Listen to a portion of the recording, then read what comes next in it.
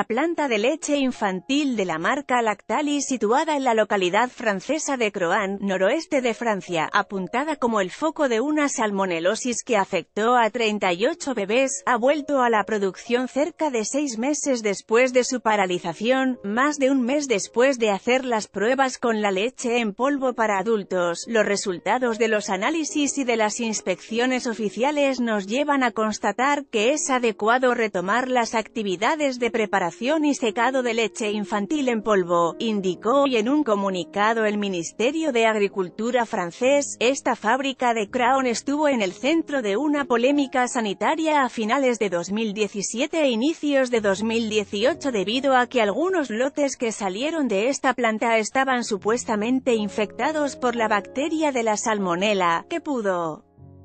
reproducirse por unas obras en las instalaciones, según el Ministerio de Sanidad, hasta 38 bebés menores de 6 meses que ingirieron la leche en polvo del grupo Lactalis bajo las marcas Picot y Milumel enfermaron por salmonela, de los que 18 llegaron a ser hospitalizados. Se atribuye también a la ingesta de leche de Lactalis, una multinacional que cuenta con 246 fábricas en 47 países, la infección de dos bebés en Y de otro en Grecia. En su nota de hoy, el Ministerio de Agricultura aclaró que los productos infantiles de Crown estarán retenidas durante un periodo de controles reforzados que permitan obtener todas las garantías sanitarias. La gestión del caso Lactalis creó malestar en Francia, ya que el producto continuó a la venta durante varias semanas a pesar de las órdenes del gobierno para retirarlo de los supermercados.